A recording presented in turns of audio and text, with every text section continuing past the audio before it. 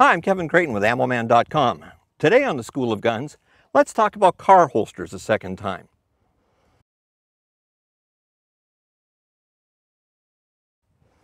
Okay, now you may remember a few weeks ago when I had a video out there on car holsters and why they weren't a bad idea.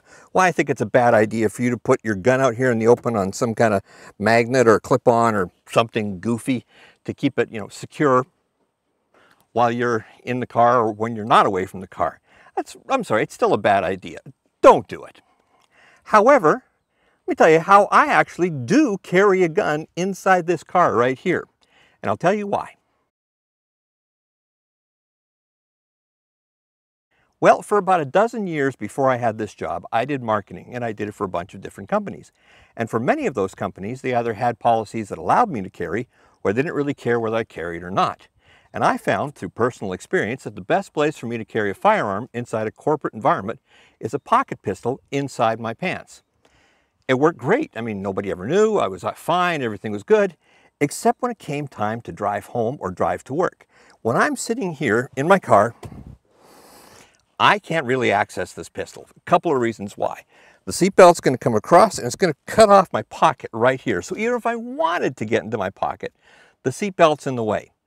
Secondly, look at how the gun is kind of sitting in here in my pocket. Got my body here, it's blocking the access. Getting access to gun inside the pocket here is just, it's not going to happen. If I had to do it, what I would have to do is kind of, I don't know, put my foot on the brake and move and do that and come out and there and you can see it's an airsoft. Yeah, no, I'm not really a big fan of that. It's, I mean, it could work, but I wouldn't be able to like, okay, driving down the road, foot on the gas, something happens, brake, it be pop there. Uh, I think I've got it. Okay, oh, there it is. Here, okay, good. Yeah, not really a big fan of that. So what I did instead was I still pocket carried and it was still fine day in, day out, but I added a second gun inside my car, securely locked away. That's the big difference here. We're not leaving a gun out in the open where everybody can see it. We're not leaving a gun overnight in our cars, and we are certainly not leaving a gun inside our car when we put it through the car wash. Lots of guns get stolen that way, and congratulations, you've just armed a crook.